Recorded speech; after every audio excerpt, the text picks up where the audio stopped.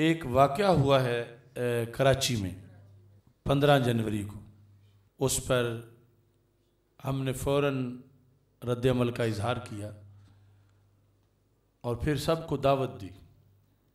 उन गुस्ताखों के ख़िलाफ़ जिन्होंने बैक वक़्त अल्लाह ताला की भी तोहन की है, रसूल पाक सल्लल्लाहु अलैहि वसल्लम की भी माजल्ला तोहन की है, कुरान की तोहन की है, सिहाबा की और नबी अकरम सल्लल्लाहु अलैहि वसल्लम की सारी साहबजादियों की तोहन की है। कोई हिंदू, सिख क्रिश्चन यहूदी भी शायद ऐसे लफ्ज़ ना बोल सके जो उन्होंने मजमे में बोले। इस सिलसिला में मैं बड़ा हैरान हूँ।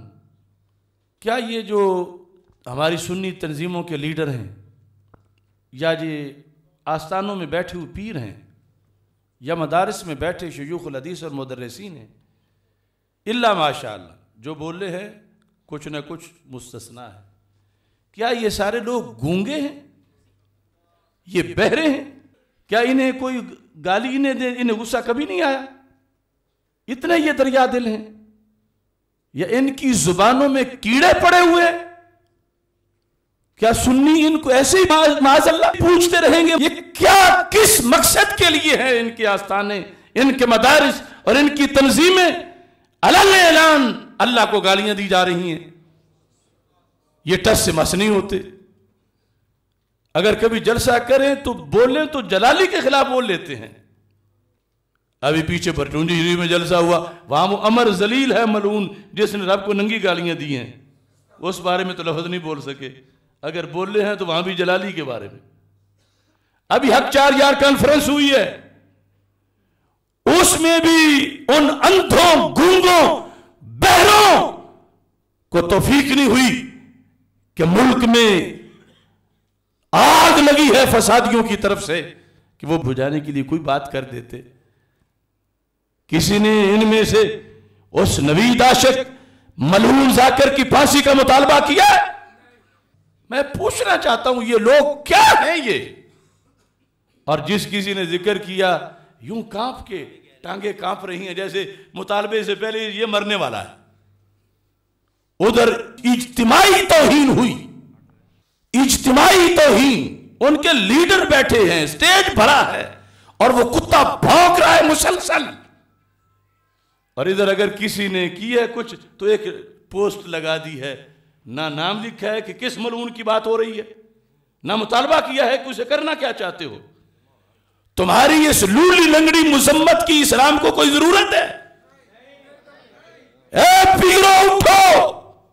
अगर जुबानों में कीड़े नहीं पड़े हुए तो बोलो अपने अल्लाह की इज़्ज़त के लिए। बोलो अपने रसूल सलाम की इज़्ज़त के लिए। बोलो सिद्दीक उमर की इज़्ज़त के लिए। बोलो सैयदा जैनब सैयदा रुकैया, सैयदा उम्मे कुलसूम, सैयदा फातिमा रज़ी अल्लाह तला की इज़्ज़त नमूस के लिए सिर्फ़ ताल्लुकदारियाँ निभा रहे हैं। कोई नाराज़ ना हो जाए। आज ले उनकी पना आज मदद मांगू से कल ना मानेंगे, क्यामत को अगर मान गया। मैंने पहले ऐलान के बाद इनके लिए वक़्त छोड़ा कि फिर कहते, ये जी हर मसले में खुद ही आगे हो जाता, हमें तो मौके नहीं देता। हालाँकि मैं वैसे नहीं होता, मैं तो जब देखता हूँ कि कोई नहीं बोल रहा, सारे मर गए हैं, इल्ला माशाल्लाह तो फिर बोलता।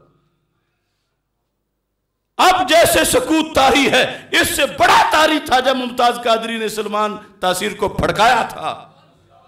और मैं बोला था तो इन्हें बुलाया था। सकूत टूटा था या नहीं? मगर मेरे दस साल लग गए थे। मैं अगर इल्मी काम में रहता तो कितना हो जाता। आज भी मैं दलील पेश कर रहा हूँ। यह कम अज कम सड़क पे तो निकले। वो दस साल लगा के मैंने उस मसले को क्लियर किया, फिर तो चौधरी कई आ गए।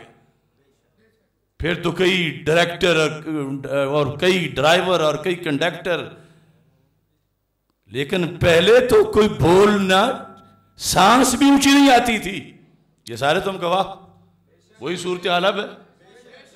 तो मैं इनको बुला रहा हूँ, इन्हें भी अगले जुमे तक टाइम है। वरना सुन्नियों की अदालत में इन सब का हिसाब होगा। सुन्नी कारकुनों से ये पूजे नहीं जाते। अगर अल्लाह अल्लाह के रसूल सलाम की इबादत करेंगे तो सर आँखों पर। और अगर ये बुतों रवाफज की यारियों, खवारज के साथ यारियों में रहेंगे तो अब सुन्नी ने हटा देंगे पीछे। इनकी गदियों के नहीं बैठे रहे। मगर अहले सुन्नत इनसे बेजार होकर खुद अपना लहमल बनाएँगे। और हुकूमत से भी मैं कहता हूँ, भंग पी है तुमने। सालम वज़ीर आज़म भंग पी के सोए हो। तुम्हें कोई थोड़ा सा कहे, उसी वक्त तुम्हारे धुएँ निकलते हैं। और ये है, वो है फ़ौरन। इधर मेरे अल्लाह को गालियाँ दी गई। या पाकिस्तान इसलिए बना था। रसूल पाक सल्लल्लाहु अलैहि वसल्लम को गालियाँ, कुरान को ताने, अहले बेटे अतहार को ताने, सहाबा किराम रज़ी अल्लाह को गालियाँ। और पंद्रह जनवरी से अभी तक क्या हुआ है? क्या इनके लिए हमेशा ये लाशें गिराए जाए तो फिर इनके कानों पे चून रींगती है? और मैं लब्बैक या रसूल अल्लाह का माना भी तुम्हें बताना चाहता हूँ, अगर कोई कमीना मलून फ्रांस में भौंके तो फिर भी लब्बैक।